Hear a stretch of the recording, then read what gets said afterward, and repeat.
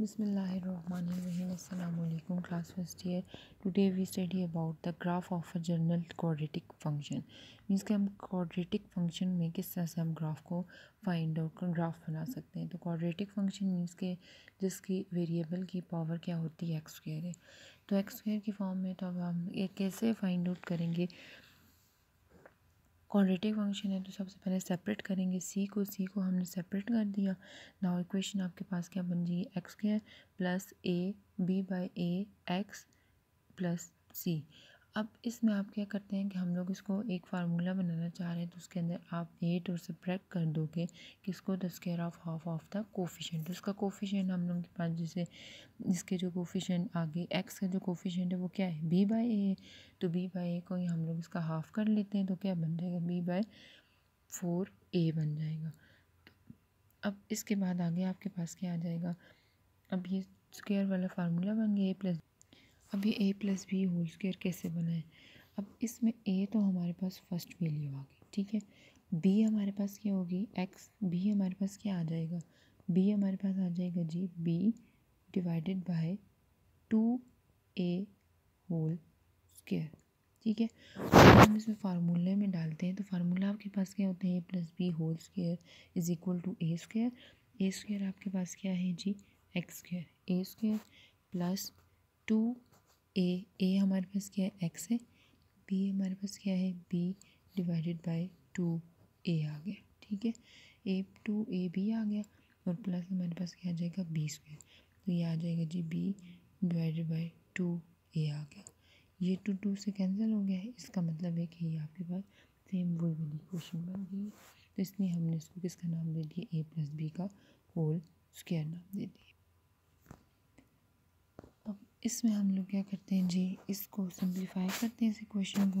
उसके लिए हम लोग बोल देते हैं h k equal h is equal to minus b divided by two a and k is equal to this ठीक है? तो अब इसमें इक्वेशन नंबर टू का नाम दे दिया। So then equation number one become equation one क्या बन जाएगी? A into x x plus b divided by two a की जगह हम डालेंगे माइनस एच ठीक है? ये वाला। देन प्लस इसकी जगह हम डालेंगे के तो अब अगर आप देखो तो ये हम लोग के पास क्या बन जाएगा? The graph of a function is parabolic parabolic form में होगा। जिसकी वर्टिक्स आपके पास क्या होंगे? एच और के होंगे।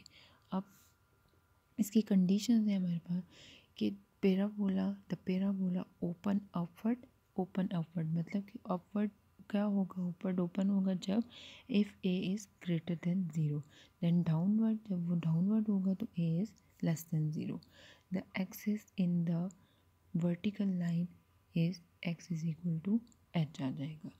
अब इससे रिलेटेड हम क्वेश्चन सॉल्व करते हैं। जैसे ये कंडीशन है, जैसे the graph of the quadratic function f of x is equal to this is called the parabola with which open upward if x a is greater than zero then if a is less than zero the graph of a function is open downward तो upward condition में आपके पास ये वाला आ जाएगा and then downward condition second condition ये है कि the lowest and highest point is called the vertex of the parabola its formula is जैसे भी हमने फाइंड आउट किया है वर्टिक्स के minus b divided by two a comma c minus b square divided by two b The vertical line passing through the vertex is called the axis of a parabola. For axis we use is हम क्या use करेंगे x is equal to minus b divided by 2a. Question number three is without graphing find the vertex all intercept axis of the graph of the following function. Also determine whether the graph open upward and downward. तो function आपको given है f of x is equal to three divided by four x के तो अब सबसे पहले हमने कैसे फाइंड आउट करना है क्वाड्रेटिक इक्वेशन से? क्वाड्रेटिक इक्वेशन हमारे पास क्या है जी? F of x is equal to x square plus b x plus c ठीक है?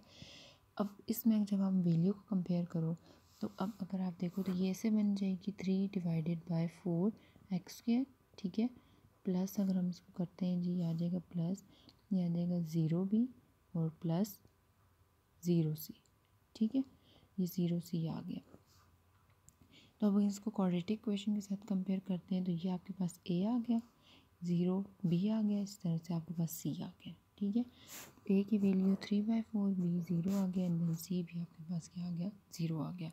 सबसे पहले हम लोगों को बोला हुआ जी, हम इसमें ग्राफ में फाइंड आउट करना है वर्टेक्स तो वर्टेक्स अभी हमने फाइंड आउट किया था फार्मूला वर्टेक्स हमारे पास क्या है minus b divided by two a comma c minus b square divided by four a इसमें हम वैल्यू पुट करते हैं बी हमारे पास ज़ीरो आ गया। देन ये भी हमारे पास ज़ीरो आ गया। इट्स मीन कि हमारे पास वर्टिक्स से आ जाएँगे ज़ीरो आ जाएँगे।